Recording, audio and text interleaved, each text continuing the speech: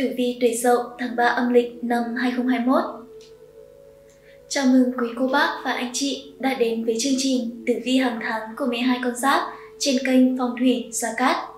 Lời đầu tiên xin kính chúc quý vị luôn gặp nhiều may mắn và sự hành thông trong công việc cũng như cuộc sống hàng ngày. Quý vị thân mến, sự vận động không ngừng của vũ trụ đã hướng con người tới những nhận thức sơ khai trong việc cắt nghĩa quá trình phát sinh của vũ trụ và hình thành thuyết âm dương. Đi cùng theo đó, dựa trên sự chấp nhận cách vận hành của thế giới, nguyên lý ngũ hành đã đưa ra một giải pháp hệ thống mang tính dự báo về tính cách, thức mang tính dự báo về cách thức khí vận động thông qua những thay đổi mang tính chu trình của âm và dương. Và chính điều này đã giúp cho những dự đoán về vận mệnh của các con giáp trở nên chính xác. Vậy thì dựa theo quy luật đó, dự đoán tử vi của những gia chủ tuổi dậu trong tháng 3 âm lịch năm Tân Sửu 2021 sẽ xảy ra những điều gì? Hãy cùng nghe những phân tích của các chuyên gia phong thủy hàng đầu ngay trong video ngay sau đây của chúng tôi. Đặc biệt ngày hôm nay, trong tháng này, thầy Gia Cát sẽ nhận tư vấn hoàn toàn miễn phí tại văn phòng công ty phong thủy Lộc Tài về các vấn đề như tử vi, phong thủy, mua mạ âm trạch, xây nhà, sửa nhà, cưới hỏi. Để có thể được tư vấn miễn phí, quý anh chị hãy liên hệ đặt lịch theo số điện thoại đang được hiển thị ở trên màn hình. Mời anh chị và các bạn hãy cùng theo dõi video.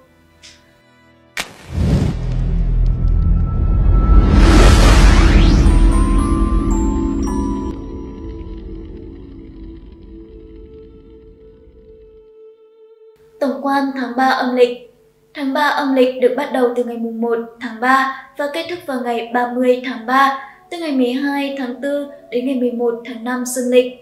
Tháng nhâm thìn có nặc âm là trường lưu thủy, ngày thìn lục hợp dậu, tam hợp tý và thân thành thủy cụ, xung tuất, hình thìn, hình mùi, hại mão, phá sửu, tuyệt tuất.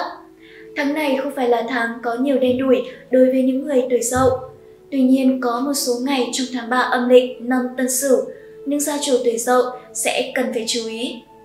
Thứ nhất là ngày âm lịch mùng 2 tháng 3 tới ngày 13 tháng 4 dương lịch có nạp giáp là Tân Mão, đặc biệt đại kỵ đối với các mệnh chủ tuổi Ất Dậu sinh năm 2005 và mệnh chủ Kỷ Dậu sinh năm 1969.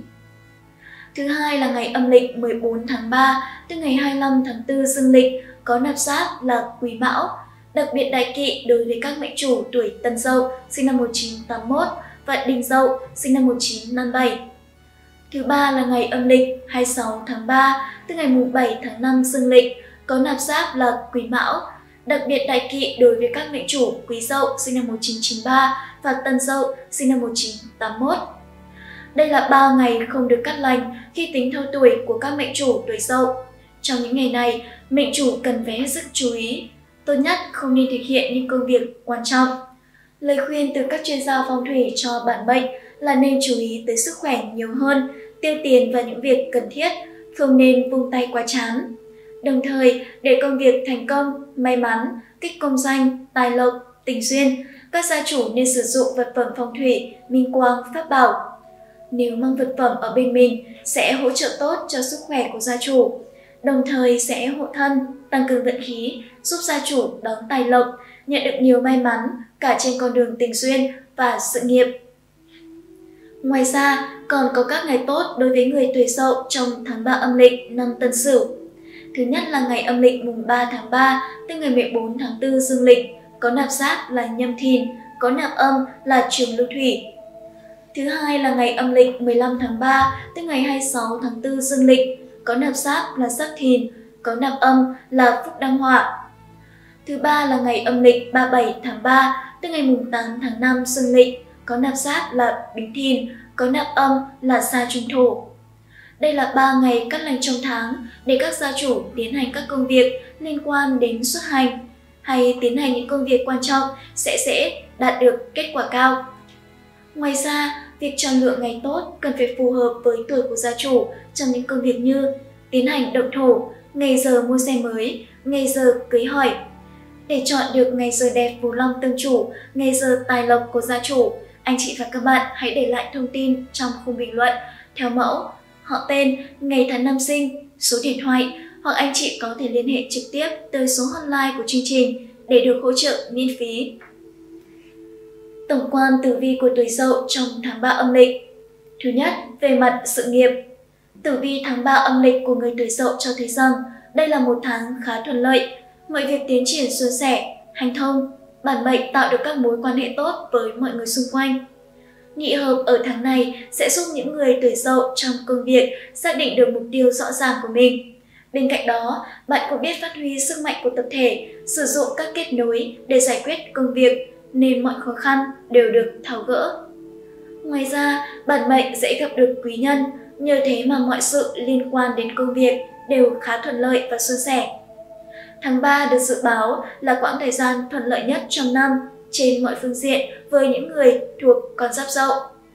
Tuy nhiên với những người tuổi dậu trẻ tuổi thì tham vọng nhiều trong tháng 3 này không phải là tháng may mắn, bạn cần bình tâm trở lại, nên đặt sự nghiệp ổn định lên đầu. Không nên đầu tư vào các dự án mới trong thời gian này, vậy nên để kích hoạt sự nghiệp ngày càng phát triển, hóa giải vận hạn không may mắn, đạt được thành công, khuyên gia chủ tuổi dậu nên sử dụng ngay vật phẩm phong thủy, minh quang, pháp bảo. Vật phẩm có tác dụng kỵ tà, hóa sát, chiếu phúc, nạp tài, tịnh hóa nghiệp lực, gia trì công đức, từ đó thâu thu tài lộc, hỗ trợ hành mệnh cho gia chủ. Đặc biệt, vật phẩm sẽ giúp cho công việc làm ăn của gia chủ được hành thông, thuận lợi, thành công trong sự nghiệp một cách vượt trội. Về mặt tài lộc, Tháng này, gia chủ tuổi dậu có nhị hợp nâng đỡ nên nhìn chung về tài lộc khá ổn định, việc làm ăn hợp tác rất tốt. Bản mệnh nên tận dụng thời gian này để tìm đối tác phù hợp cho những kế hoạch sắp tới của mình. Người làm kinh doanh nói chung, công việc ổn, thu về nhiều tiền và có thể dùng làm vốn đầu tư. Chắc chắn bằng sự nỗ lực của mình, bạn sẽ mở thêm được nhiều cơ sở, gây dựng thêm uy tín. Chỉ là đừng quá mạo hiểm đầu tư lớn, cũng phải biết đối tác hay người kết hợp làm ăn với mình như thế nào, phòng bị lừa gạt. Bên cạnh đó, những gia chủ tuổi sậu là những người khá nhẹ bén, thông minh. Tuy nhiên, sự nhanh nhẹn ấy lại khiến bản mệnh rơi vào cảnh sôi hỏng, bỏng không, làm nhiều mà hỏng nhiều, thất thoát nhiều tiền bạc trong tháng 3 âm lịch. Tháng này, những gia chủ tuổi dậu sẽ sẽ bị hư hao tiền bạc vào nhiều việc, trong đó có cả cho sức khỏe. Lời khuyên từ các chuyên gia phong thủy cho bản mệnh là nên chú ý tới sức khỏe nhiều hơn, chi tiêu tiền vào những việc cần thiết, không nên vung tay quá chán. Đồng thời, để công việc thành công, may mắn, kích công danh, tài lộc, tình duyên, các gia chủ nên sử dụng vật phẩm phong thủy, minh quang, pháp bảo. Minh quang pháp bảo nếu mang bên mình sẽ là vật phẩm hỗ trợ tốt cho sức khỏe của gia chủ, là vật phẩm hộ thân, tăng cường vận khí, giúp gia chủ đón tài lộc, nhận được nhiều may mắn cả trên con đường tình duyên và sự nghiệp. Thứ ba, về mặt tình cảm và gia đạo. Tháng 3 âm lịch này có nhiều mối nhân duyên mới cho các gia chủ tuổi dậu còn đang độc thân, nếu biết nắm bắt cơ hội, có thể xe duyên với người hàng thương nhớ.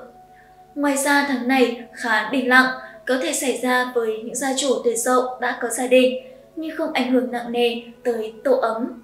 Tuy nhiên, thời gian này cũng có thể sẽ xuất hiện người thứ ba xen vào mối quan hệ của bạn, dẫn đến những nỗi buồn, trăn trở, lo nghĩ của bản mệnh. Đặc biệt trong tháng này, bạn bè có thể trở thành nhân tố tác động đến mối quan hệ của tuổi dậu. Người độc thân có thể tìm được bạn bè giới thiệu, người đã có người yêu lại dễ bị hiểu nhầm vì những quan hệ khác phái thân thiết, có nguy cơ làm dạn vỡ một quan hệ đã có. Cho nên, bạn cần sự minh bạch trong các mối quan hệ. Để chuyện tình duyên suôn sẻ, hạnh phúc, may mắn, thành công, các gia chủ cần mang bên mình vật phẩm phong thủy vòng tam giác khai vận, tỵ, dậu, sửu, đây là vật phẩm hỗ trợ kích tình duyên, đồng thời giúp những gia chủ lập gia đình thành công, hạnh phúc, yên ấm cửa nhà, tình cảm, khăng khít. Về mặt sức khỏe, về cơ bản thì tình hình sức khỏe của người tuổi dậu khá ổn định trong tháng này. Bạn không phải đối mặt với những vấn đề nghiêm trọng. Tuy nhiên là khó tránh được bệnh vặt, chỉ cần tinh thần tích cực, lạc quan thì mọi việc sẽ ổn. Người trẻ nên kết hợp công việc và nghỉ ngơi hợp lý, trong khi người trung niên nên hạn chế thức khuya, tập luyện hợp lý. Phụ nữ tuổi dậu cũng nên chú ý các bệnh lặt vặt như phụ khoa, đau dạ dày. Ngoài ra áp lực từ công việc là không thể tránh khỏi đối với các gia chủ tuổi dậu trong dịp đầu năm. bạn cần sắp xếp, bố trí thời gian biểu hợp lý để vừa đảm bảo hoàn thành công việc, vừa có thời gian nghỉ ngơi, thư giãn. Để tăng cường sức khỏe, những người tuổi dậu cần mang bên mình vòng tam giác khai vận. Vòng tam giác khai vận của kênh phong thủy Gia Cát được hầu hết các thầy phong thủy sử dụng làm vật phẩm hộ thân, chiêu quý nhân, hóa giải thị phi, tiểu nhân hãm hại và là vật phẩm phong thủy cực kỳ hiệu quả trong việc kích tài lộc cho gia chủ. Tử vi của từng tuổi dậu trong tháng Thứ nhất, Đinh Dậu sinh năm 1957. Nhâm Dương Thủy gặp Đinh Âm Hỏa là chính quan, nghĩa là thân bị khắc. Trong tháng này, bản mệnh cần chú ý lời ăn, tiếng nói, cẩn thận những thị phi từ miệng mà ra. Làm việc với cấp trên, bản mệnh cũng cần khôn khéo, tránh bị áp chế, sắp đặt, ảnh hưởng đến công việc. Ngoài ra trong vấn đề sức khỏe, người tuổi đinh dậu cần lưu tâm để ý, dù ở độ tuổi nào, bạn sẽ dễ mắc những căn bệnh tuổi tác, nhưng không phải vì thế mà bỏ bê bản thân. Bạn nên tham gia vào các buổi gặp gỡ, tập các bài tập vận động phù hợp với lứa tuổi, giữ tâm trạng luôn vui vẻ thì sẽ cải thiện được tình hình sức khỏe rất nhiều. Thầy Gia Cát khuyên người tuổi đinh dậu nên sử dụng pháp khí phong thủy, vòng tam giác khai vận để tăng thêm vận khí cho bản thân, kỵ tà, hóa sát, mang lại may mắn, tài lộc trong công việc và các mối quan hệ. Thứ hai, kỳ Dậu 1969 Vận trình của người tuổi kỳ Dậu trong tháng 3 khá tốt đẹp, đặc biệt là ở phương diện sự nghiệp. Bản mệnh có thể tìm được nhiều thời điểm để thể hiện năng lực của bản thân mình, nhận được sự đánh giá cao của cấp trên, từ đó có nhiều cơ hội thăng chức, tăng lương, đạt được những bước phát triển lớn trong sự nghiệp. Tuy nhiên, bản mệnh không nên vì thế mà trở nên kiêu ngạo, coi thường những người khác. Bản mệnh cần giữ thái độ khiêm tốn, có cách ứng xử khéo léo với tất cả mọi người, kiêng kỵ nhất là việc nảy sinh mâu thuẫn với người khác. Người tuổi kỷ dậu nên sử dụng pháp khí phong thủy tam giác khai vận để tăng thêm vận khí cho bản thân, kỵ tà, hóa sát, tăng kỵ tà, hóa sát mang lại may mắn, tài lộc trong công việc và các mối quan hệ. Thứ ba, Tân Dậu sinh năm 1981. Tân âm kim gặp nhâm dương thủy là chính ấn, nghĩa là bản thân được sinh dưỡng, nuôi dưỡng. Đây là tháng khá tốt cho các gia chủ Tân Dậu. Nếu có cơ hội tốt, bản mệnh cần phải nắm bắt thì ắt sẽ có tài lộc, sự phát triển tốt đang chờ đợi bạn ở phía trước. Trong tháng, bạn cần phải nghiêm túc trong mối quan hệ của bản thân. Đừng đứng mũi này trông đừng đứng núi này trông núi nọ, chán người bên cạnh làm hôn nhân đổ vỡ, cuộc sống không được như ý. Tình cảm của bạn, chính bạn phải chủ động. Ngoài ra tiền bạc không nhiều nên cần phải hết sức hạn chế chi tiêu những thứ không cần thiết.